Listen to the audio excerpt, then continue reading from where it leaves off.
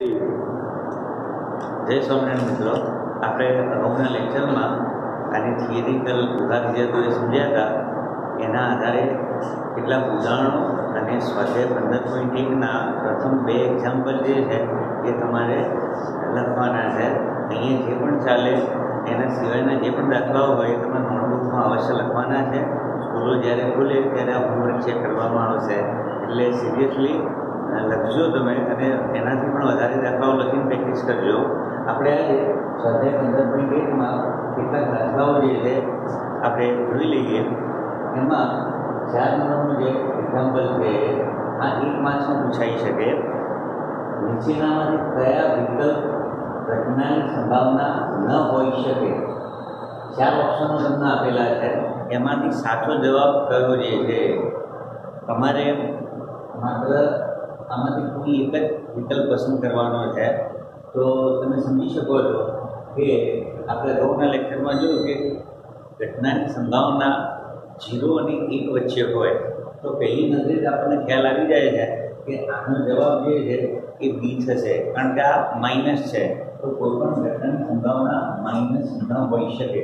એટલે હાલ તમારે આનો આન્સર લખવો હોય, તો answer is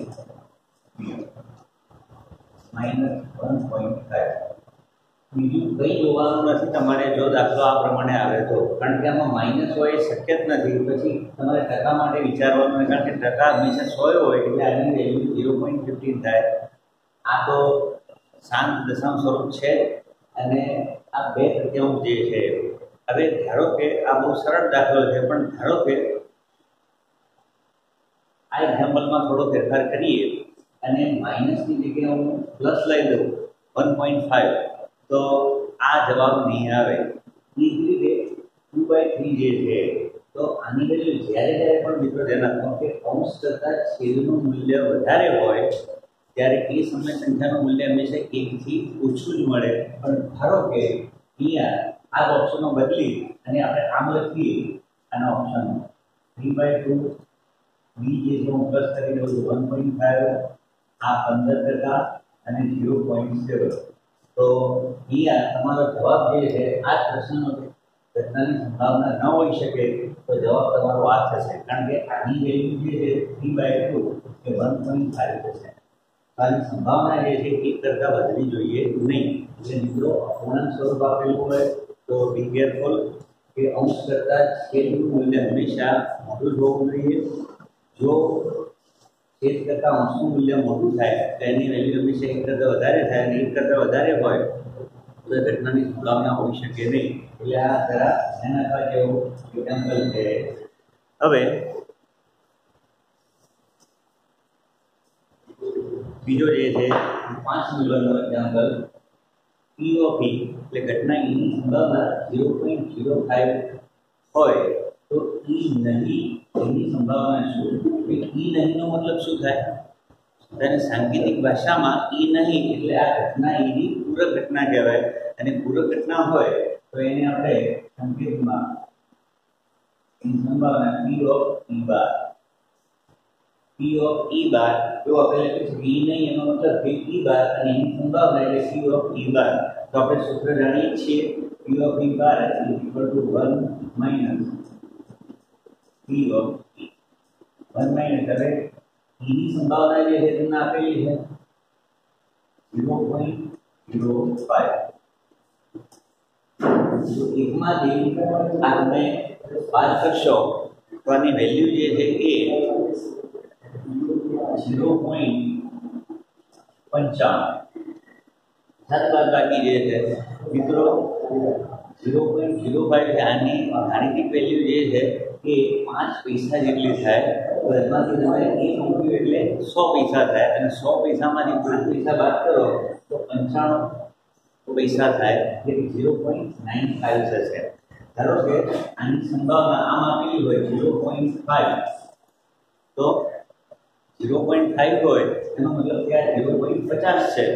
અંશીના પછી તમે શૂન્ય કેટલી મૂકો એનો કોઈ મતલબ થશે નહીં. તો ઝીરો પોઈન્ટ પચાસ હોય, તો આની સંભાવના જે છે એ એની સંભાવના જે છે એ ઝીરો પોઈન્ટ એકમાંથી તમે બાદ કરો તો ઝીરો પોઈન્ટ પચાસ જેટલી થશે. તો થોડું ધ્યાન રાખો, દશાંશ હોય એ અપૂર્ણાંક સ્વરૂપ હોય, એમાં તમારે થોડું ધ્યાન રાખવું પડશે. આ એની પૂરક ઘટના જે છે જેમાં જો દાખલા તો બે ત્રણ જ છે, પરંતુ આપણે ધ્યાન રાખીશું. એના આધારે બીજા દાખલાઓ પૂછાઈ શકે. હવે વિદ્યાર્થી મિત્રો બધા દાખલા શક્ય નથી. તો આપણે આ નંબરનું જે એક્ઝામ્પલ જે છે એમાં કહ્યું છે કે એક થેલામાં ત્રણ લાલ છે. પાંચ કાળા કાળા જે છે. કુલ પાંચ અને આઠ, એટલે કુલ આઠ દડા થાય. પાંચ અને ત્રણ જે છે.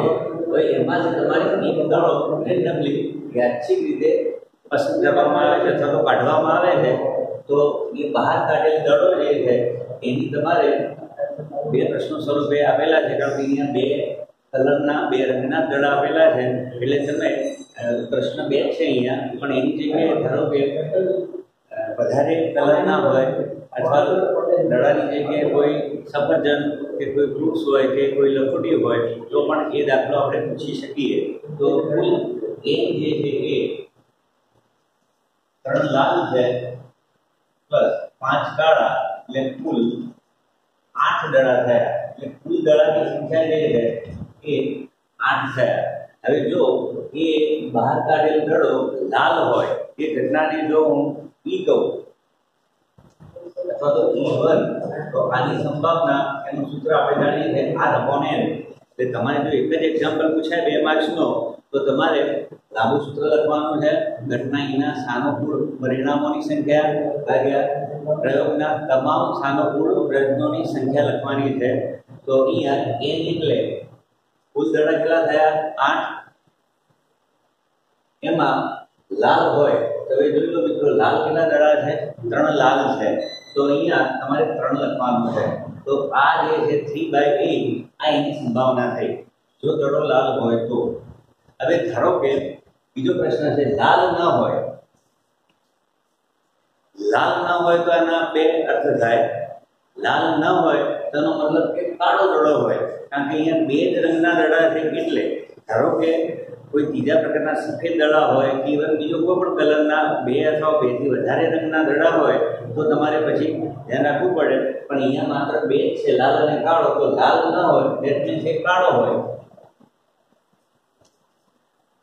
લાલ હોય તો કાળો હોય, તો આ એની તીવ્ર ઘટના થઈ. તો એ આ સૂત્રની મદદથી પણ તમે શોધી શકો છો, અથવા તો અહીંયા આ ઘટનાને આપણે ઈટુ કહીએ તો એની સંભાવના. એન એટલે તમને ખ્યાલ જ છે કે એન એટલે કુલ દળની સંખ્યા કેટલી છે? આઠ છે. તો અહીંયા આઠ. અને અહીંયા લાલ ના હોય દેટ મીન્સ કાળો. તો કાળા કાળા કેટલા છે? પાંચ. તો અહીંયા પાંચ આપણે લખીશું. Five by eight right answer તો આને બીજી રીતે પણ તમે ગણી શકો છો. ધારો કે આ આને તમારે આમ લખવું છે.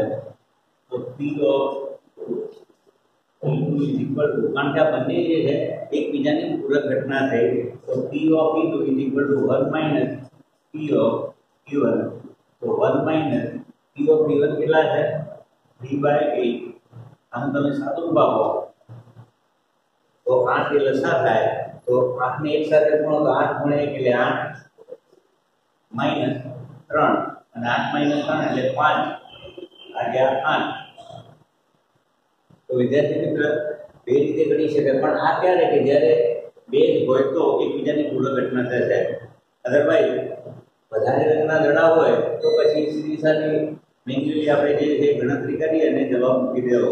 તો આ રીતે એક એક કે બે બે માર્ક્સના પૂછાય છે એક વધારે દાખલો આપણે જોઈએ બાર નંબર ધારો કે અ, એક ચક્ર જે છે ચક્રની એક રમતમાં ગોળ ફરતું એક તીર છે તમે કેસિનોમાં ક્યાંક સીનમાં કે કોઈ સિરિયલમાં જોયું હોય તો એમાં કેસિનોમાં એક રેન્ડમલી ફરતું હોય છે એક તીર જે છે ગોળ ગોળ જે છે તો એ તીર જે છે એ નીચેની જે સંખ્યાઓ તમને આપેલી છે એકથી આઠ સંખ્યાઓ તમને આપેલી છે. જેમ ઘડિયાળનો ડાયલ હોય એમાં બાર અંક લખેલા હોય છે એકથી બાર.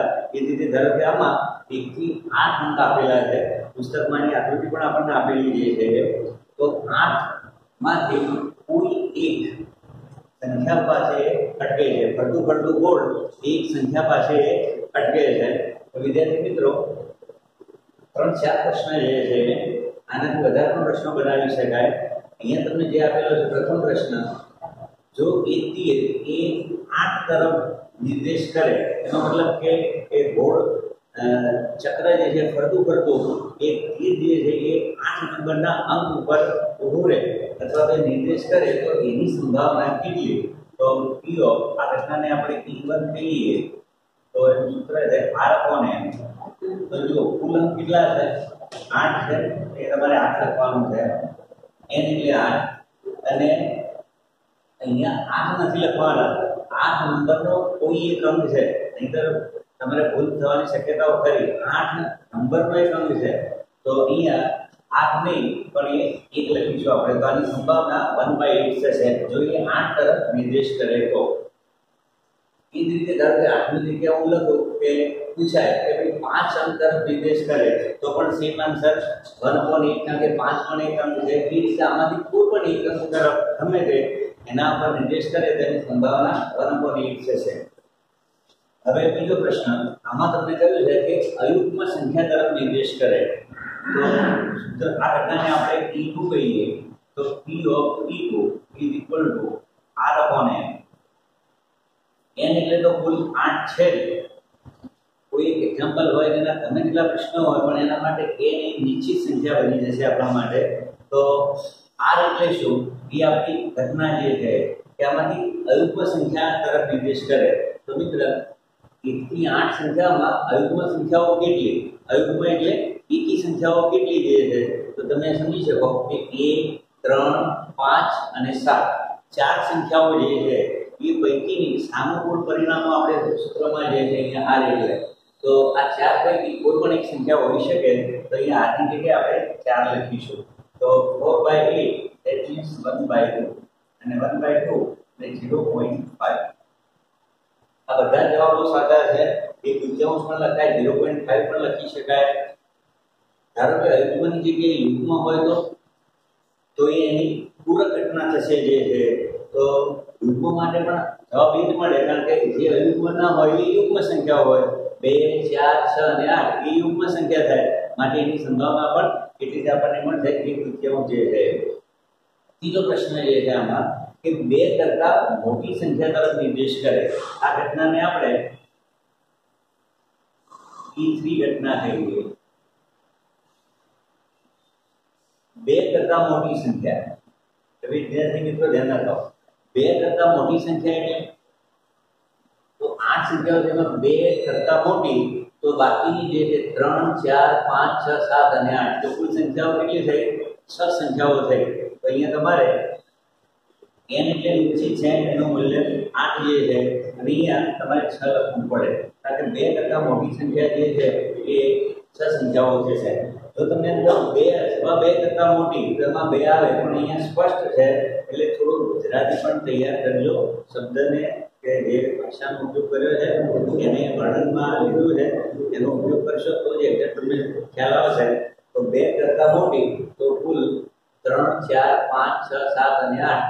છ સંખ્યાઓ થાય એટલે સિક્સ બાય એટ આનું સંક્ષિપ્ત તમે આપો, બે ભાગ ચલાવો તો ત્રણ દુ છ અને ચાર દુ આઠ. આનો જવાબ જે થ્રી બાય ફોર અને જો લખવું હોય તો ઝીરો પોઈન્ટ પંચોતેર થાય. આની કોઈ જરૂર નથી. આ લખવાથી જવાબ સાચો જ પડે. પણ શક્ય હોય તો સંક્ષિપ્ત રૂપ એનું આપો. વિદ્યાર્થી મિત્રો છેલ્લો પ્રશ્ન આમાં એ છે. જો એ નવ કરતા નાની સંખ્યા હોય, જો નવ કરતા નાની સંખ્યા હોય, હવે તમે સમજી શકો છો કે અહીંયા જે સંખ્યાઓ તમને આપેલી છે, એ આઠ સુધી છે. તો નવ કરતા નાની એટલે આઠી આઠ આવવાની જે છે, તો અહીંયા તમે સૂત્ર પ્રમાણે નીચે આઠ છે અને અહીંયા આઠે આઠ આઠ આવે તો સંભાવના જે આ શક્ય ઘટના છે નિશ્ચિત ઘટના છે માટેની સંભાવના એક થશે નવ કરતા નાની, તો બધી નવ કરતા નાની સંખ્યાઓ જે છે માટે એની સંભાવના એક આપણને મળે. સૂત્ર દ્વારા પણ સમજી શકાય, અથવા તો આપણે પણ વ્યાખ્યા દ્વારા જાણ્યું છે કે શક્ય ઘટના છે, ચોક્કસ ઘટના છે એની સંભાવના એક થાય ધારો કે આમાં તમને પૂછ્યું હોય કે આઠ કરતા મોટી સંખ્યા તરફ નિર્દેશ કરે, તો એનો જવાબ શું થાય મિત્રો? તો આઠ કરતાં તો કોઈ મોટી સંખ્યા છે જ નહીં. તો એની સંભાવના એ જીરો અથવા તો શૂન્ય થાય, કારણ કે એક અશક્ય ઘટના છે. તો વિદ્યાર્થી મિત્રો, આ રીતે ઘણા બધા દાખલાઓ જે છે, તમે થોડો વધારે પ્રયત્ન કરી, પ્રેક્ટિસ કરશો, તો આના બધા દાખલાઓ તમને ફાવશે. આપણે બાકીના નેક્સ્ટ લેક્ચરમાં બીજા દાખલાઓ આપણે જોઈશું. પંદર પોઈન્ટ એક જે છે એ જ ગણવાનો છે. પંદર પોઈન્ટ બે આપણે વૈકલ્પિક સ્વાધ્યાય ગણવાનો નથી.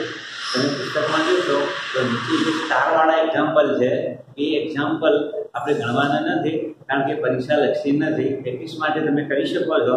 તો વિદ્યાર્થી મિત્રો, આજે આટલું કામ આપણે રાખીએ છીએ. ઘરે રહો, સુરક્ષિત રહો. થેન્ક